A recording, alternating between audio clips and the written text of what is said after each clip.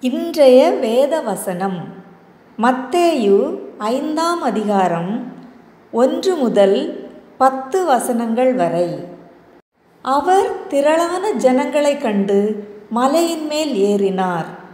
அவர் உட்கார்ந்த பொழுது அவருடைய சீஷர்கள் அவரிடத்தில் வந்தார்கள். அப்பொழுது அவர் தமது வாயைத் திறந்து அவர்களுக்கு உபதேசித்து சொன்னது என்னவென்றால் ஆவியில் எளிமையுள்ளவர்கள் பாக்கியவான்கள். பரலோக ராஜ்யம் அவர்களுடையது. துயரப்படுகிறவர்கள் பாக்கியவான்கள். அவர்கள் ஆறுதல் அடைவார்கள் சாந்த குணம் உள்ளவர்கள் பாக்கியவான்கள். அவர்கள் பூமியை சுதந்தரித்துக் கொள்ளுவார்கள். நீதியின் மேல் பசி தாகம் உள்ளவர்கள் பாக்கியவான்கள்.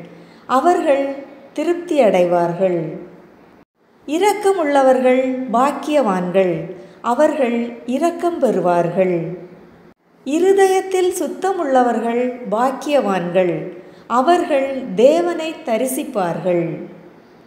சமாதானம் பண்ணுகிறவர்கள் பாக்கியவான்கள் அவர்கள் தேவனுடைய புத்திரர் எண்ணப்படுவார்கள் நீதிய நிமித்தம் துன்பப்படுகிறவர்கள் பாக்கியவான்கள் பரலோக ராஜ்யம் அவர்களுடையது.